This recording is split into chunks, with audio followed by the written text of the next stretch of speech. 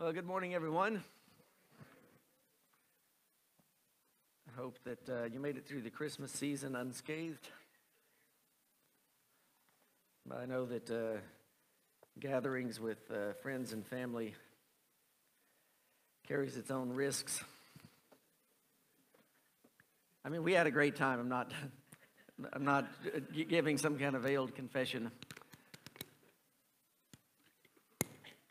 Well, for those of you who don't know me, I'm Slade Rinehart. I'm the youth minister here at uh, Fellowship Bible Church, and I also oversee our adult Connect and Grow ministries.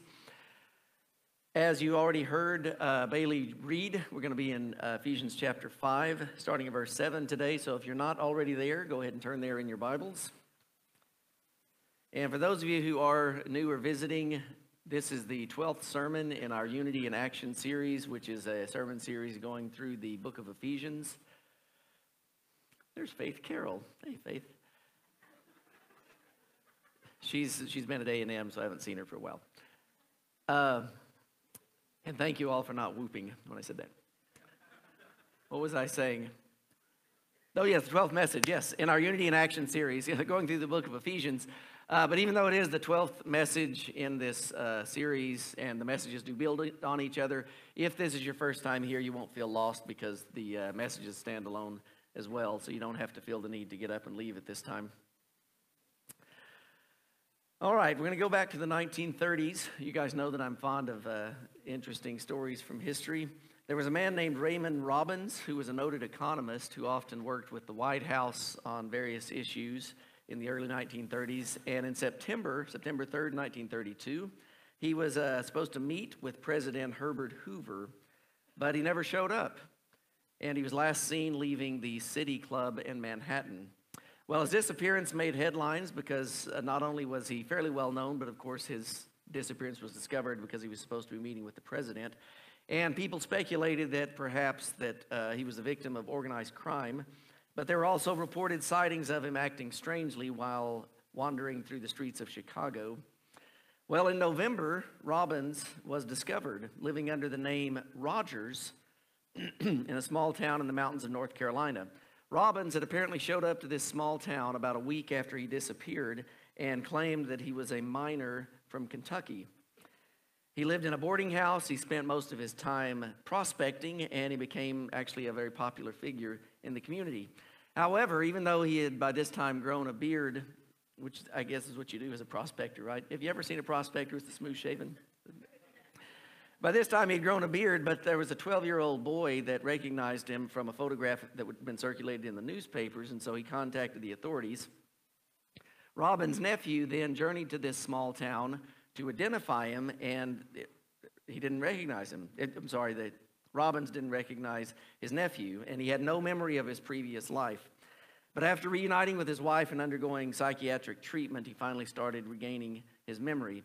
It was speculated that a combination, combination of stress and emotional strain brought on this bout of amnesia and caused him to just assume a new identity.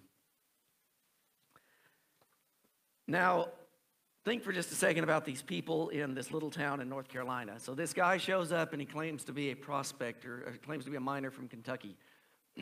Why were they not suspicious? Well, the reason they weren't suspicious is because he acted like a miner. He spent most of his time prospecting. He actually did what you would expect him to do. So he was acting consistently with his identity. Now, as believers, we have an identity. We have an identity as children of God. But our temptation is to live in a way that contradicts that identity. And just like Mr. Robbins here, sometimes we live in a way that would make people think that our identity is something other than it is. So, uh, before we dive into the passage, I do want to give a brief review. So, if you look at this chart that uh, our lead pastor Todd Malone created that shows the structure of Ephesians. The first half of the book is mainly doctrinal, it's talking about what God has done. And then the second half of the book is mainly practical, meaning the practice of our faith, talking about what the Ephesians, or in our case, what we should do. I think one of the most important lessons to take from the structure of this book, and, and uh, Paul's epistles pretty much all follow a similar pattern, but one of the most important things to take from that structure is the, that it highlights the truth that God must act first before we can act. So you cannot live for God until God has acted to intervene in your life, to bring him to yourself, and to remake you. God must first do something for us and in us before we can live for him. This section that we're going to be looking at today, which is uh, the one in black, I'm sorry, Neil, go back just one. Uh, the, in black, live as children of God. You'll notice some similarities to the previous one. Can y'all remember the previous one? That was November. Y'all remember that? You'll notice some similarities, but because, of course, it's phrased differently, there are different things that Paul wants to bring out. But ultimately, it is about living as children of God, living consistently with the identity that we now possess. Okay, you can go ahead. Sorry about that, Neil. There are three commands uh, in this passage that sort of frame it, and uh, so we'll look at those in turn. The first command is this don't partner with unbelievers. Don't partner with unbelievers. Look again at verses 7 and 8. Therefore, do not become partners with them, for at one time you were darkness, but now you are light in the Lord. Now, verse 7 raises two questions in my mind. And the first is who does them refer to? Do not become partners with them. And what does it mean to become partners with them? Well, the word them refers back to verse 6, which said this Let no one deceive you with empty words. For because of these things, the wrath of God comes upon the sons of disobedience. Them refers to the sons of disobedience mentioned in verse 6. Children of God are not to become partners with the sons of disobedience. So perhaps that raises another question in your mind. Who are the sons of disobedience? Because it kind of sounds like a motorcycle club. The sons of disobedience. If that's not already taken, I may want to patent that uh, copyright it, whatever you do. well, the sons of disobedience, uh, simply speaking, are, is talking about unbelievers.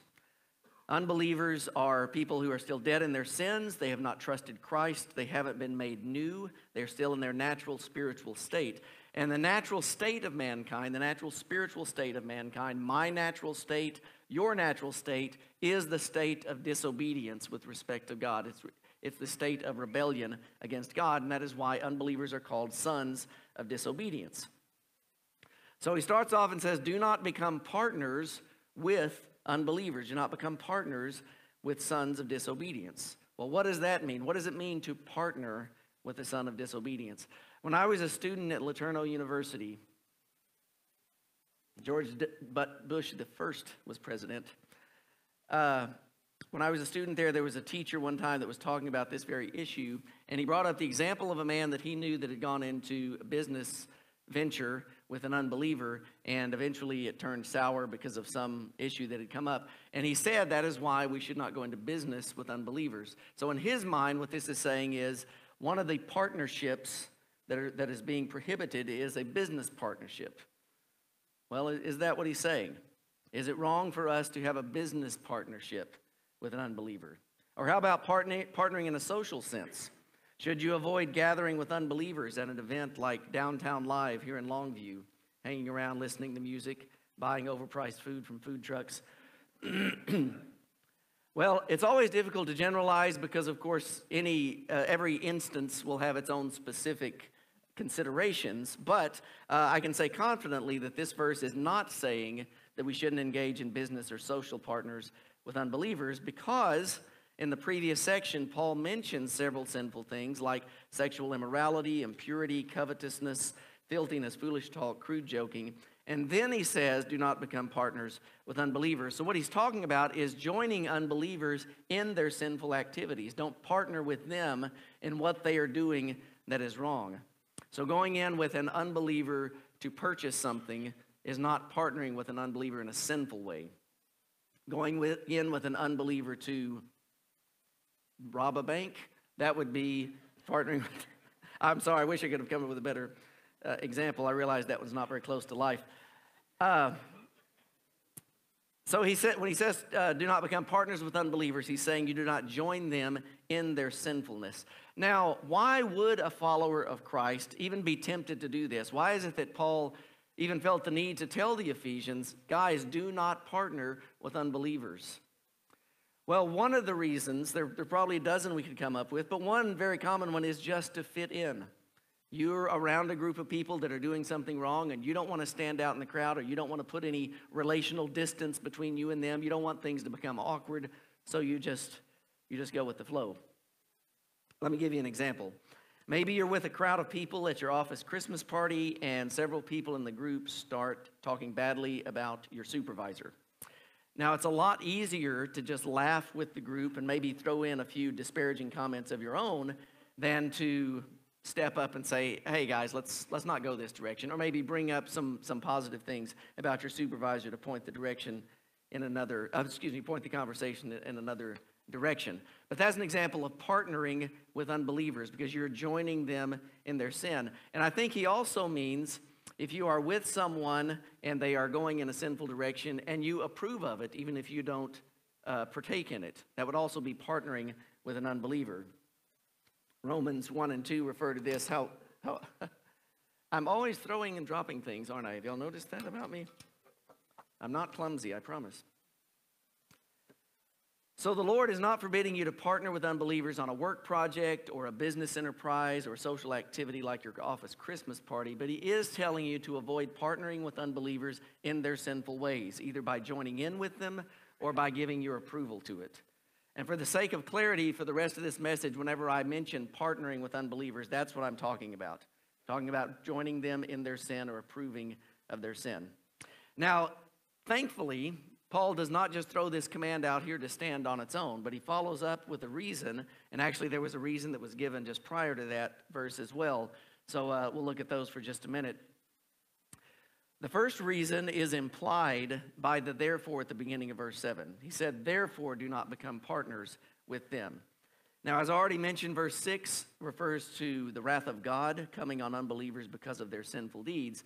So, one reason, one very strong motivation to not join unbelievers in their sinfulness is that their sinfulness incites the wrath of God. Sinful deeds, sinful attitudes, sinful actions make God angry. God hates sin. God hates sin in unbelievers, and God hates sin in believers. So if you are doing the things that God hates, you are doing exactly what unbelievers do to incite God's wrath. Since you love God, you will want to do what pleases Him and not what He hates. God loved us, gave His Son for us to be one with Him, and therefore in return we love Him because of what He's given to us. If you are giving in to greed, if you are consumed by accumulating money or possessions, if you're pursuing owning things as your path to happiness and contentment, that's an example of covetousness and idolatry. And if you're giving into that, then what you are doing is partnering with unbelievers in their dark deeds. So God calls you to recognize it for what it is and to fight against it using His strength. Fight against what God hates because you love God. One of the most basic aspects of a believer is that they love God. It is simply natural for us because of what God has done for us and the change that He's worked in our hearts. So that's the first reason to not partner with unbelievers because God angry. Did I just lose my, did, did, something pop? Am I good? Y'all hear me? Okay, still nodding, good. Uh, that's the first reason to not partner with unbelievers because it makes God angry. And we love God, we don't want to do what makes Him angry. The second reason for avoiding sinful partnerships is given in verse 8 For at one time you were darkness, but now you are light in the Lord. At one time you were darkness. You were darkened in your understanding of reality. You were enslaved to sin. You were under the power of the evil one. You were blind to the glory of Christ. At one time, then, it would have made sense for you to live in sexual immorality and impurity and covetousness. It would have been perfectly consistent with your values and with your worldview and what you loved. But that's no longer true. Christ has set you free from slavery. Christ has broken the rule of the enemy. You can now see the light of the gospel of the glory of Christ. Colossians 1:13 says that the Father has delivered us from the domain of darkness and transferred us to the kingdom of his beloved Son. You are now a child of light who lives in the kingdom of light. That is now your identity. And just as it is ridiculous and inconsistent for that economist to pretend to be a miner, It is ridiculous and inconsistent for an unbeliever, for, excuse me, for a believer to live as an unbeliever. Indulging in sin is antithetical to your new identity. When you were darkness, when that was your identity, partnering with unbelievers in sin was consistent with who you are. But now that you are light in the Lord, partnering in sin works against your values. It's in opposition to what you hold most dear. Do not partner with unbelievers. The second command that he gives in this passage is this walk as children of light. Look at verses 8 through 10 again. Walk as children of light, for the fruit of light is found in all that is good and right and true, and try to discern what is pleasing to the Lord. Walk as children of light. Now, as has been mentioned several times as we've gone through this series, because it's mentioned throughout the book of Ephesians, whenever he says walk, he's talking about the course of your life. So, another way to think of it is live as children of light. Live this way, behave this way. This should be your lifestyle. This is what should characterize you. Earlier in chapter 5, he said walk in love, and now he's talking about walking in light. In other words, live consistently with your identity. Everyone who trusts in Christ is a child of light, so it is foolish to live as a child of darkness. 1 John 1 5 says, This is the message we have heard from him and proclaimed to you that God is light, and in him is no darkness at all. Since God is light, then everyone born of God is a child of light. And of course, the verse actually says, uh, excuse me, verse 7 said, You are light in the Lord. You were once darkness, but now you're light in the Lord. And a child of light lives differently than a child of darkness because they have a different master. They have different values and different loves. 1 John 1 7 says, But if we walk in the light as he is in the light, we have fellowship with one another, and the blood of Jesus, his son, cleanses us from all sin. So, what does it look like to walk as children of light? Verse 9 says that light produces all that is good and right and true. Goodness, righteousness, and truth are the fruit of light. They are produced in the light, a life of light. These are the qualities that characterize you when you are walking in the will of God. You're good to others. You are righteous in your dealing with others. You speak the truth to others. And that is the life of God being manifested or displayed in your life. When you yield to the Holy Spirit within you to think and speak and act in accordance with God's will, then your life produces light. Now, I recognize because we are all still fallen people and we have not been glorified and perfected, that our production of these qualities of light is going to be inconsistent. But if you look over the course of someone's life, someone living under the kingship of God, you will see the fruit of light in their life. This parenthetical statement about the fruit of light can serve as a heart check for all of us. What fruit is being produced in our lives?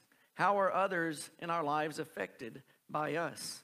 If the fruit of your life can't be characterized as good and right and true, then you aren't walking as a child of light.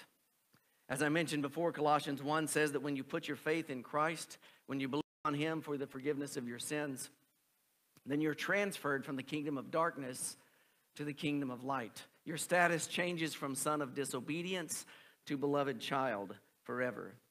Now he is saying, live out of that identity. You're not living well or godly, you're not living a godly way in order to become a child of light. He's saying, because you are a child of light, live this way. Live out of the status of being a child of light. The second half of the sentence, and try to discern what is pleasing to the Lord, modifies or describes the first half. In other words, you walk or live as children of light by trying to discern what pleases the Lord. 2 Corinthians 5 9 says, We make it our aim to please Him. So, what are some ways, and I'm going to allow for some audience participation here. What are some ways we can please the Lord? Just shout out a few. Getting married. Getting married, that's right. He who finds a wife finds a good thing. Very good. Not living in sexual immorality. Someone over here said something. Spread the word. Yes, spread the word of God, the good news of Christ. Study the scriptures. Excellent. Yes, gathering here with the body of Christ to give God the honor and worship that he deserved. We could probably come up with hundreds if we put our heads together. And as you grow in maturity, You're going to be able to better discern what pleases the Lord. Uh, for instance, Hebrews 5 says that mature believers have their powers of discernment trained by constant practice to distinguish good from evil. The Spirit of God within you will use the experiences of life to help you grow in your understanding of pleasing the Lord. Walk as children of light and try to discern what is pleasing to the Lord. One author summarized it this way The supreme practical rule of the Christian's life must be to please Christ. Think about that. You should live your life by this rule please Christ. Now, I hope that everyone in here is rightfully convicted by that statement, just like I am, because all of us fail to please Christ consistently and at all times. But one thing I do want to add to that statement is that the purpose of this command is not to get you to live in a constant state of low grade guilt. So God's not just trying to get you to think, man, I know I'm not pleasing the Lord all the time, so he's probably just always scowling and disappointed and angry with me. That is not what's going on here. That's not the purpose of any of God's commands. Romans 8 1 says, there is ne- Therefore, there is now no condemnation for those who are in Christ Jesus. When Jesus was baptized by John the Baptist in the Jordan River, the heavens were opened and the Spirit of God descended in the form of a dove upon Jesus. And then the Father spoke from heaven and said, This is my Son with whom I am well pleased. Jesus always did what was pleasing to God. Jesus always pleased the Father. And when you trust in Him, all of that fantastic record of spotless righteousness is given to you. So God treats you as if you're always pleasing to Him. you are completely accepted and beloved in Christ forever, and you can rest in that, even if you feel like you're a total screw up. Rest in your faith in Christ, knowing that it's His work, His righteousness that earns your place in God's family. This command was given not to condemn us, but to give us direction and purpose for our lives. Now, when you do give in to sin, when you do realize that you have a sinful habit, you should confess that. You should confess that to the Lord for what it is and receive His forgiveness. But do not just sink into a hole of self condemnation. Receive that forgiveness. Ask God to give you the strength to fight that sin and live your life knowing that you are fully accepted by God on the basis of what Jesus Christ has done and not how well you do at pleasing Him. Walk as children of light by trying to discover what pleases Him. The last command in these verses is expose the works of darkness. Now that sounds, excuse me, that sounds kind of like the charge that an aging wizard would give to a noble knight about to go on a quest expose the works of darkness. But all of you, as children of God, and children of light have been given that charge to expose the works of darkness. Look again at verses 11 through 14. Take no part in the unfruitful works of darkness, but instead expose them. For it is shameful even to speak of the things that they do in secret. But when anything is exposed by the light, it becomes visible. For anything that becomes visible is light. Therefore it says, Awake, O sleeper, and arise from the dead, and Christ will shine on you. Verse 11 refers to the unfruitful works of darkness. Sinful deeds are indeed unfruitful. They do not produce anything good, whereas earlier he had just mentioned that light does produce good. It produces what's good and right and true. It's a reminder that if you think that living a sinful lifestyle will bring you happiness, contentment, or lead you to the good life, that you are deceived. Because the good life is life with God, the good life is life in His light. Verse 11 says, excuse me, to expose the work of, works of darkness and not to take part in them. So, how do we expose the works of darkness? Verse 12 says that it's shameful even to speak of the evil deeds done in secret. So, on one hand, he says expose their evil deeds, and on the other hand, he says don't speak of their evil deeds. It sounds like we're being told to do contradictory things, but of course we aren't. Verse 13 helps to resolve the issue. It mentions that anything that is exposed by the light becomes visible. So we expose the works of darkness by exposing them to light. What that means is this as we shine the light of Christ around us and around unbelievers, their sinful deeds are exposed to the light of God. Arthur, author Mark Roberts puts it this way We expose the works of darkness by announcing the good news of God's grace in Christ and by living in such a way that this good news shines forth. We have to live in such a way that deeds of darkness are seen to be fruitless in comparison to the abundant fruit of light that grows in our lives. You expose the works of darkness by walking as a child of light and by shining the light of the gospel in the lives of unbelievers. In Matthew 5, in the Sermon on the Mount, Jesus said, You are the light of the world. A city set on a hill cannot be hidden, nor do people light a lamp and put it under a basket, but on a stand, and it gives light to all in the house. In the same way, let your light shine before others, so that they may see your good works and give glory to your Father who is in heaven. When an unbeliever sees you living a life that is characterized by goodness and righteousness and truth, they are exposed to light. And that light helps them to see that their sinful lifestyle is wrong. And if you bring the light of the gospel to an unbeliever and they receive that as truth, then they become light in the Lord. As it says in verse uh, 13, anything that becomes visible is light. Living a godly life and announcing the good news of the gospel pushes back the darkness around you. Now, don't get the idea that the Bible is saying you should never confront someone about their sin. That isn't what this is saying. There are lots of situations where you need to speak up and tell someone that what they're doing is wrong. You have a friend that's cheating on his wife or stealing from his employer or lying to his parents.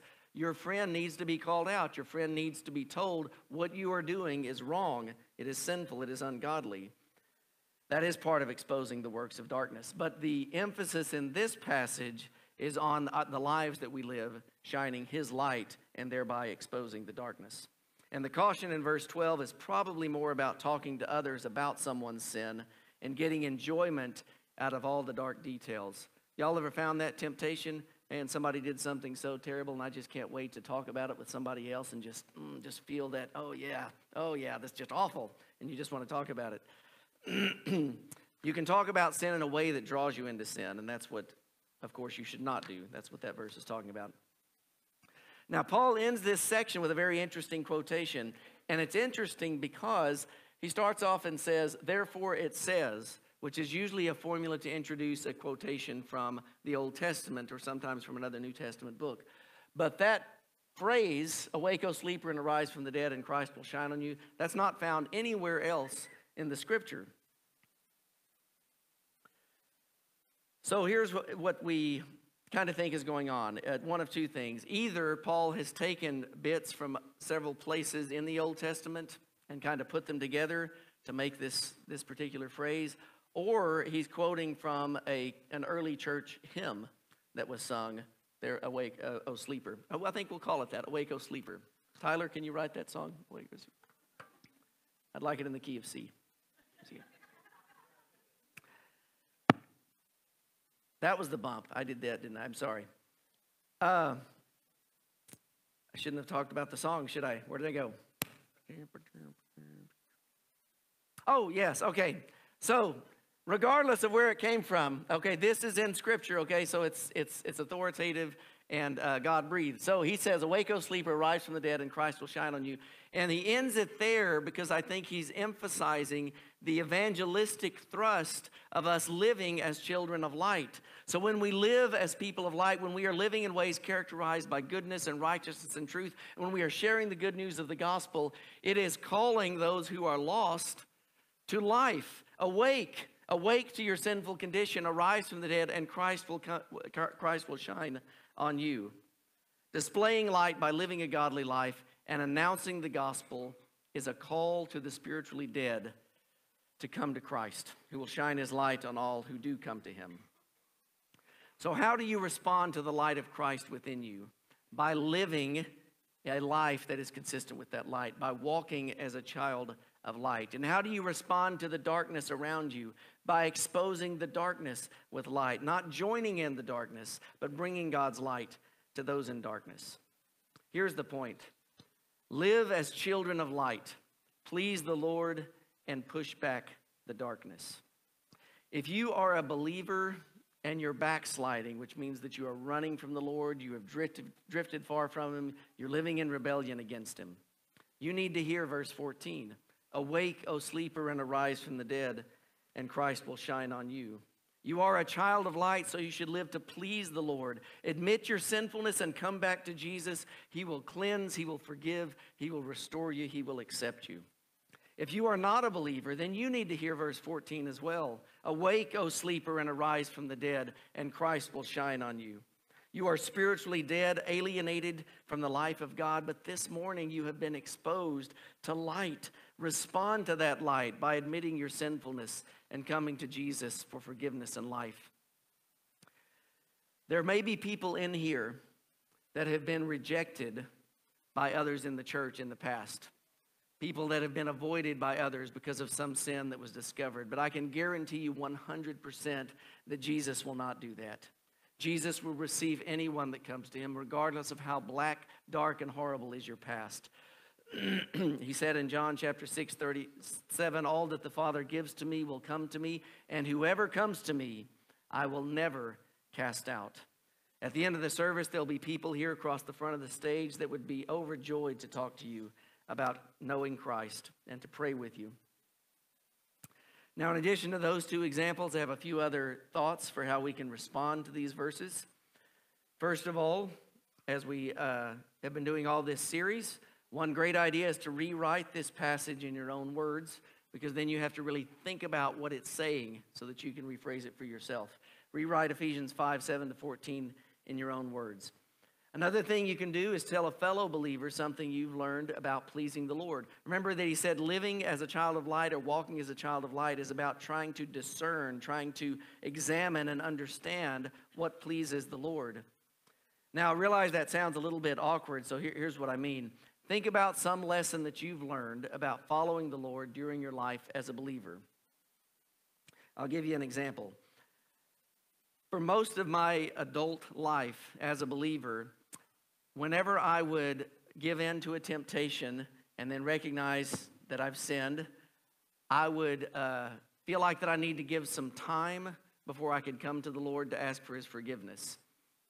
Depending on what I had done, it might be hours, it might even be days, because I felt like, well, I've made God angry, I've crossed this line, and so I need to let things sort of settle down before I approach Him. Or maybe in my mind, I was thinking I could sort of earn my way back into His good graces. And then about two or three years ago, uh, I encountered someone who kind of taught me this lesson that the Lord wants you to immediately come to Him because you are never coming to him on your own merit. Me waiting five, ten hours, uh, five or ten days would do nothing to make that sin any lighter, would it? It would do nothing to diminish his grace or to strengthen his grace. So I learned that to pleases the Lord when we immediately run to him when we realize that we have sinned. Immediately go to him forgiveness, for forgiveness when we give in to temptation. Share something that you've learned with a fellow believer this week. Another response would be to pray and ask the Lord to reveal your sin and ask and enable you to turn from it. That's one of the ways you can try to discern what pleases the Lord. I can say with confidence that every person in here has blind spots. There are things that you do that are wrong that you don't think are wrong. There, it's sort of like, uh, you know how before you're married, you have a lot of annoying habits you're not aware of, and then you get married, and then your spouse lets you know that you have these annoying habits? It's kind of like that. We all have these blind spots with respect to sin as well. So go to the Lord and ask Him, Lord, show me. Show me what I'm doing that I shouldn't be doing that I'm not even aware of. And the Lord would delight to help you with that and to help you fight against it. And lastly, share the light of Christ with someone far from Him. Now, this could be a fellow believer who's drifted away from the Lord, or it could be someone who doesn't know Him at all. Tell that person about the goodness and mercy of Jesus. Tell them what the Lord has done for you, how he's forgiven you and brought you into his family. You are the primary means that God uses to bring his light to others. Live as children of light. Please the Lord and push back the darkness. After the service ends, as I mentioned earlier, there are going to be some people across the front of the stage. They'll be happy to pray with you about anything, whether that's you don't know the Lord and you would like to, you're far from the Lord and you'd like to come back, or just that you're struggling with some trial or, or difficulty. They'll be happy to encourage you, to pray with you, and just bring the Lord's uh, uh, presence to bear on that situation. So, why don't you all stand and prayer team, you can come on forward while I pray. Heavenly Father, in the name of your great Son, Jesus, we thank you. We thank you for the light of Christ that you have given to us. We thank you for the marvelous privilege, O Lord, it is to know you. And thank you, God, for reminding us that we should live as children of light, that we should pursue pleasing you as our life rule. God, I pray that you would give us the strength to do that, turn our wills each day to point toward you. And when we fall, God, I pray that you would remind us that we can immediately run to you and receive your forgiveness and restoration. And God, I also pray that every believer in here would be able to rest in Christ. They would be able to rest knowing that they are accepted, they are beloved, and that God delights in them even where they are right now, imperfect and immature. God, I ask for your grace over any that don't know you, that your spirit would draw them Help them to see that they are lost and alienated from you, and that you are standing here with your arms wide open to receive them into your family. God, I pray for a special measure of grace on everyone who has come here today. I pray that their week would be blessed by you. In your holy name, amen. God bless you all. You are dismissed.